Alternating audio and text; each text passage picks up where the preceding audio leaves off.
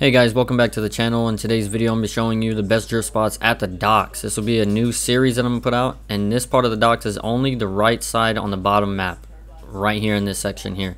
So I'm going to do a different video on the other side of the map, or the other side of the docks, to show you guys a couple different routes, and there's hundreds of routes, so just be patient with me if you don't see the one that you actually drift, or you see different ones, the ones you haven't done yet. So let's get into it. This first section right here is called the docks route 1, at least to me. That way I kind of keep them more organized, but you'll take the, the long straight at the third crane down.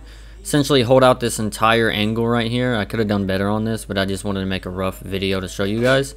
And you're going to take the first right onto the roundabout here, around all the trailers and the signs and everything. And it, it you could really draw this line out, like really, really draw it out.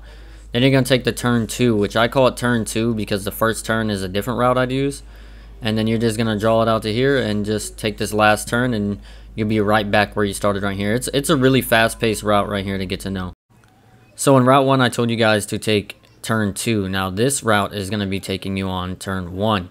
So you're going to hit the same entry here but instead of going towards the right and doing the whole roundabout you're going to keep going keeping that line all the way through the first turn here and then wrapping around to where you're actually going incoming out of the um, turn two here so you just go straight through here and when you go through you're going to want to hit the roundabout on this side instead of the previous one um, instead of going to the right. You're just going to draw it out as much as you can here. This is more of a longer route and I will probably post more clipping points on if you wanted to do a comp here and then you would just hit this last turn here and it would put you essentially right back where you started to where you could kind of run this as a loop.